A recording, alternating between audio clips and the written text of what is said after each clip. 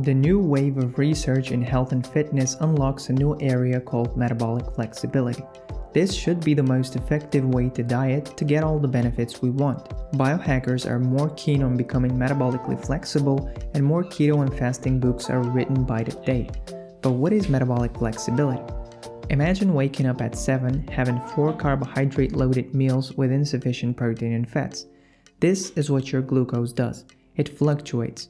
You enjoy your carb loaded meal, the brain gets acute pleasure, your blood sugar increases, making you sleepy. The problem is, the body signals low battery mode very fast.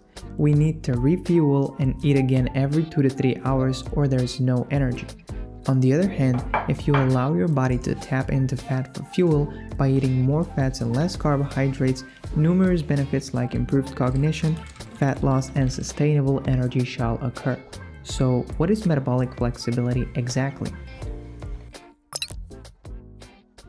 Metabolic flexibility is the ability to switch between sources of fuel.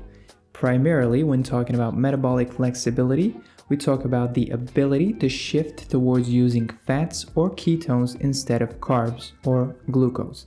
Now, why do you want that? See, our bodies primarily run on glucose. It's faster, cheaper, more effective way to get energy quicker. It's also more pleasurable. But when we deprive ourselves of glucose, the body can tap into fat stores burning fat for energy. And this comes with a myriad of different health benefits, specifically targeting the ability to produce more ATP or more energy, which is linked to anti aging and longevity. To understand this, we need to take a glimpse at what is metabolism and metabolic health at all. Metabolism is the way our body produces energy using calories, oxygen, and water. Metabolic health refers to the optimal ratio of numerous metabolic markers and the efficiency of producing energy. Such metabolic markers include insulin sensitivity, blood glucose levels, lipid profile, and glycemic variability. Being metabolically flexible basically allows you to shorten the gap between the jump from carbs to fats because metabolically inflexible people would have a hard time switching between these sources continually running on carbs. The end result is a drop in glucose and energy levels. Although keto is one of the most effective ways to stimulate metabolic flexibility, there are other more sustainable diet tweaks like fasting or ketogenic breakfast or MCT oil added to your coffee that can do the trick for us. What is the problem with a carb centric diet? See, most of us are used to running on glucose all the time. The problem with this is we need to refeed constantly. So the amount and frequency of sugar consumption is very constant, consistent, which increases the secretion of insulin and with that potentially taxes our system and our pancreas. This leads to metabolic deficit or the inability to create enough energy.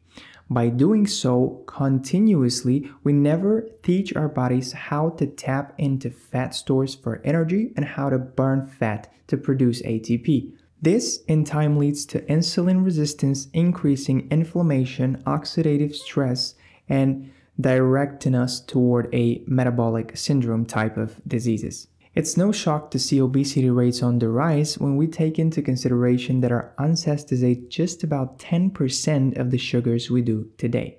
This makes us less functional in producing energy and ATP, which I like to call metabolic deficit, the staple for metabolic syndrome, abnormalities, and weight gain. And more frequent our consumption of glucose, the more we move toward metabolic inflexibility. Research suggests that individuals with obesity or type 2 diabetes manifested impaired metabolic flexibility compared with their lean and healthy counterparts. Such results prompted the notion that impaired metabolic flexibility could lead to insulin resistance and metabolic alterations.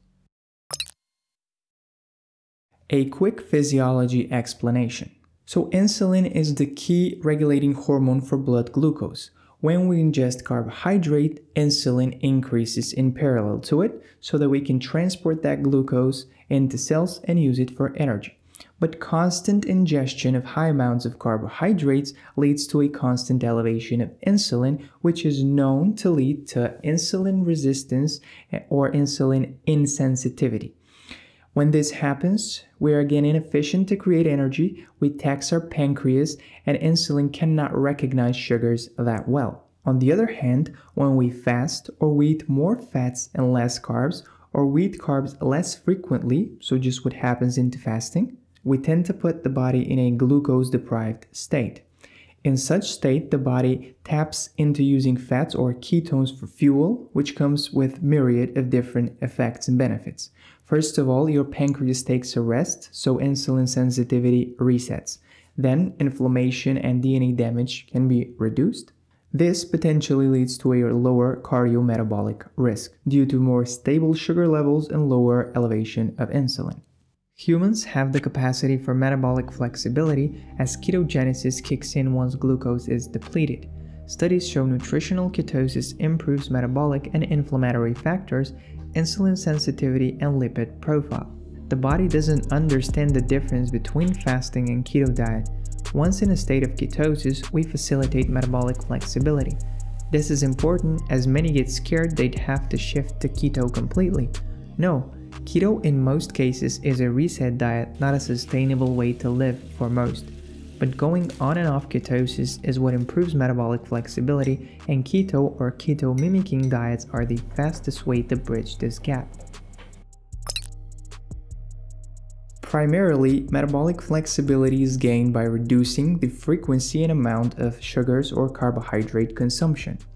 We can do that with fasting, as we reduce the window in which we eat glucose, so for an extended period of time, our body taps into what I like to call semi-ketosis. Caloric restriction is also a viable thing because it helps you burn fat. Next thing is being in ketosis is probably the most effective and efficient way to tap into metabolic flexibility.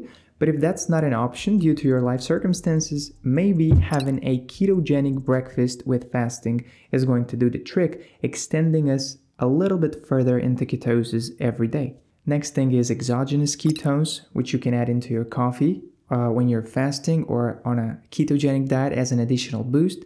Things like caffeine, exercising regularly, carb cycling, so being on and off carbohydrates, extends us into ketosis and directs us towards the benefits of being metabolically flexible.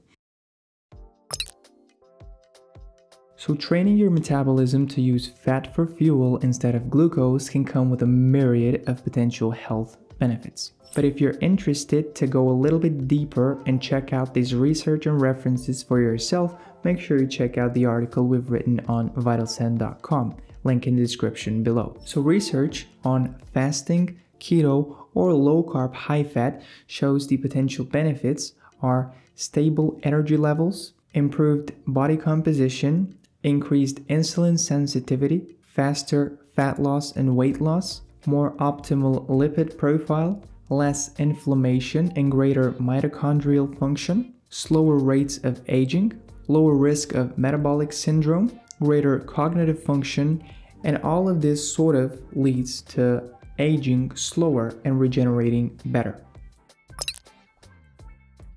a few tips to improve metabolic flexibility. So as we've said, having a ketogenic breakfast can help us extend that fasting into ketosis. This is a very good tip for someone who's not willing to push into ketosis but likes to gain most of the benefits of metabolic flexibility. Another one is MCT or medium chain triglyceride oil added into coffee, of course, during fasting which as an exogenous ketone helps you sort of shift into ketosis faster and get all the MF benefits. Next is what I like to call the MF plate, which is just more fat and less carbohydrates and sugars on your plate. Try to shift your meals in a way that contains a little bit less of the carbohydrate, starchy, kind of sugary type of things and more on the protein and fat side. Next one is glucose tracking. By investing in a glucose tracker, it's like a patch that you put on your arm and you can follow your glucose levels throughout the day. You can see how the habits you did and how your diet affected your blood glucose levels. So what do I do currently? Well, I do about 16 hours of fasting. So I eat my first meal at about 1 o'clock and my last at about 9 o'clock. That's the first thing. The second one is collagen butter coffee. So when I'm having my first meal of the day, I'm having a few pieces of dark chocolate, a little bit of butter or MCT oil, along with collagen with my coffee. You can call it bulletproof coffee, although I am trying different types of coffees. But my four major ingredients is dark chocolate, coffee, collagen, and butter or MCT oil. Next thing is again the MF plate or the more fat, less carbohydrates type of uh, meal.